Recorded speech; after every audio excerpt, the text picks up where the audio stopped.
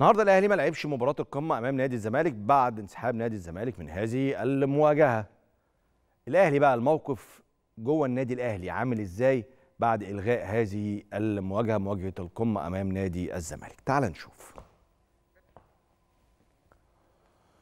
مارسيل كولر المدير الفني للاهلي استقبل قرار الغاء القمه واعتبار الاهلي فائزا بسعادة خصوصا وأن الفريق حصد ثلاث نقاط مهمة في مشوار رحلة الدفاع عن اللقب المحلي دون أي مجهود وحصول الفريق على مزيد من الوقت للراحة والتقاط الأنفاس في ظل ضغط المباريات.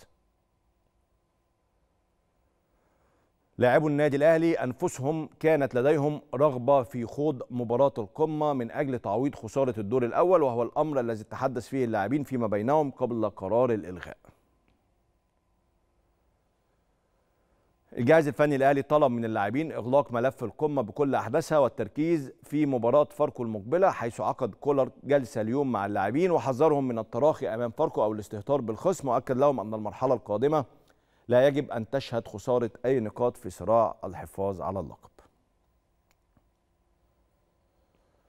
كولر كمان عمل جلسة مع جهازه المعاون في حضور خالد بيبو مدير الكرة من أجل مناقشة المرحلة المقبلة التي تشهد خوض 15 مباراة في 50 يوم فقط. رقم قليل جدا. المدرب السويسري تسلم مساء اليوم جدول مباريات الأهلي كاملا حتى نهاية الموسم الحالي وغدا ستكون هناك جلسة مع جهازه المعاون لبحث الأحمال البدنية وخطة التحضير للمرحلة المقبلة.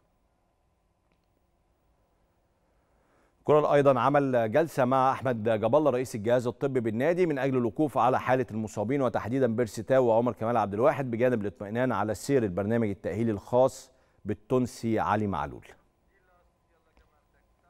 ده كل اللي بيحصل في الأهلي.